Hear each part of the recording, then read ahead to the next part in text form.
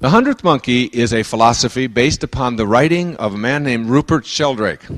Rupert Sheldrake lives in England, and he has written a book which I have been studying called A New Science of Life. And it was voted by the American Academy of Physics as the book most likely to be burned by their academy. All right?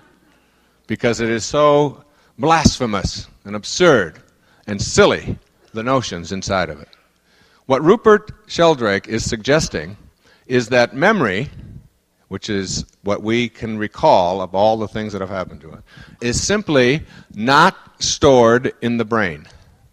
It's just not stored in the brain. All kinds of physical evidence to, like where they do experiments with cutting out pieces of the brain, a lot of ways of scientific evidence of establishing this belief. Just let it in. Don't endorse it, just let it in. Don't bite off my finger. just look to where it's pointing for a few minutes, okay? The notion is that if memory, of course, is not stored in our brain, then where is it? right? The philosophy is very simple that all members of a species are connected together through what they call morphogenetic fields, just very much like magnets. And these fields surround all human beings. The hundredth monkey is the number, the 100th monkey. Off the coast of Japan, there's an island. And they took a group of these monkeys from one species and they put sweet potatoes out there on the beach. And they watched the monkeys.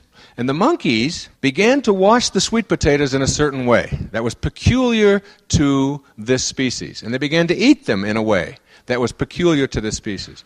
After a given amount of time, when a certain number of monkeys within that species began to do that, the same behavior began to crop up in monkeys of the same species on islands two and three hundred miles away. Question is, how did it happen? How could that have happened? And that's without going into all the details of that. If there is truth that all members of a species are connected, that all human beings are connected as well.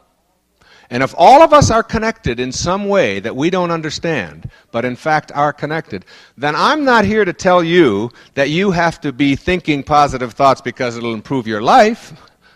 I'm here to tell you that you have an obligation because you could be depressing somebody in Uruguay right now by thinking negative thoughts.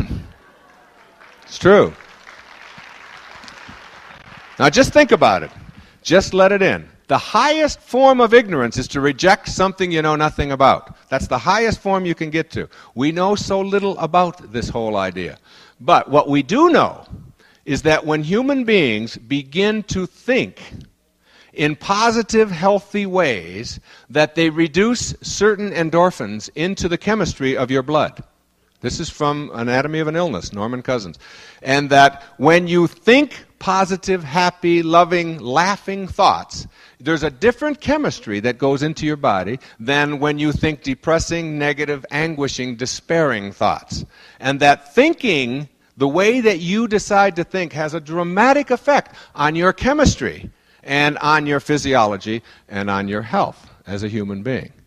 And that we know that when they did the artificial heart transplants, when they were looking for all the people up in Kentucky, who they were going to pick, there were many, many volunteers because a lot of these people only have a few weeks left to live. So if they could get a few more months, they were very willing to be expensive. The number one criteria was the will to live. What kind of an attitude does this human being have? How do they think?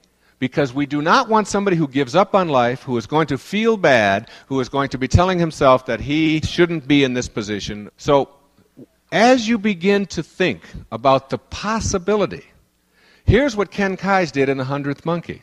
He said, and the hundredth monkey is about nothing I've said so far. That's just all what I learned through my own research and my own reading and so on. The hundredth monkey is a book about nuclear war.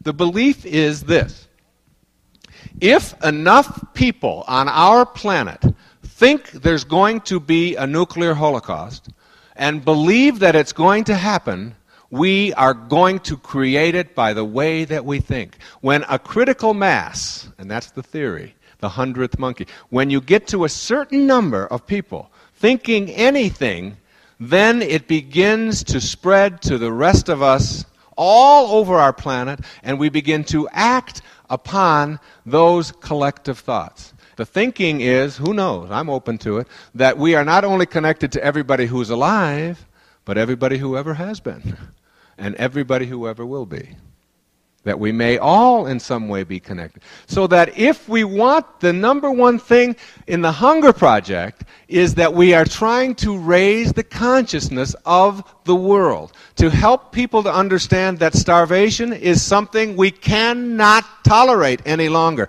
We won't have it. We won't think of it as something that is inevitable. What is happening now is people are beginning to say, what can I do?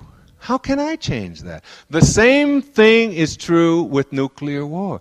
If you want to think about raising your children, my friends, what more important parental task do you have than to make sure that our world is a place that's going to be inhabitable for our children and our grandchildren? As Victor Hugo said, there is nothing more powerful than an idea whose time has come. And we can make any idea have its time come by collectively thinking in these ways. And imagine that we're all connected like this.